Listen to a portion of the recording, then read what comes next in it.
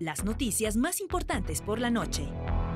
El ejército mexicano llegaron para reforzar la seguridad de la zona metropolitana de Guadalajara, además de apoyar al municipio de Lagos de Moreno. Se trata de una nueva ayuda federal para reducir la violencia en el estado.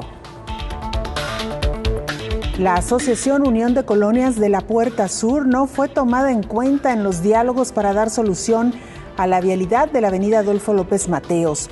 Así lo señaló su presidenta Tania Vázquez, quien acusó que solo tomaron en cuenta al sector empresarial en un asunto ciudadano.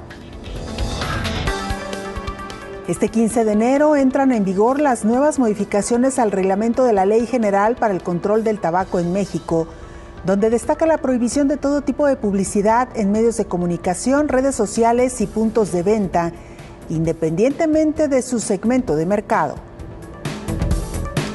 El coordinador de los diputados del PRI, Hugo Contreras Cepeda, señaló que es muy posible concretar una coalición entre las tres fuerzas políticas para sacar de Palacio de Gobierno a Movimiento Ciudadano.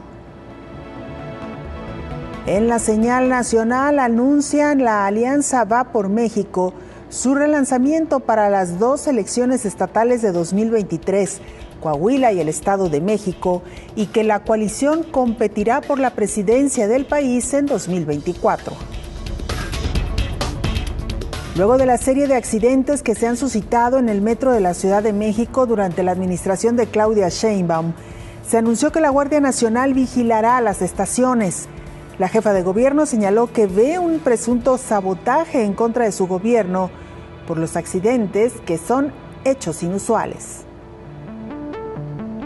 En la señal internacional encuentran en Estados Unidos documentos clasificados y ultrasecretos en una organización de intelectuales conocida popularmente como Think.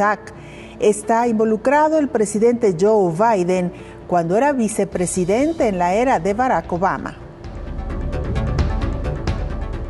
La justicia española retira el cargo de sedición contra el expresidente catalán Carles Puigdemont.